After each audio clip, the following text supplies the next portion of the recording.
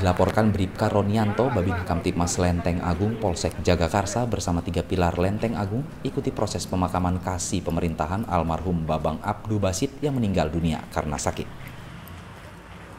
Bersama dengan pejabat daerah setempat, Bribka Ronianto menggotong keranda jenazah yang akan hendak dimakamkan. Dari Jakarta, Bribka Ronianto, Tribrata TV, Salam Tribrata.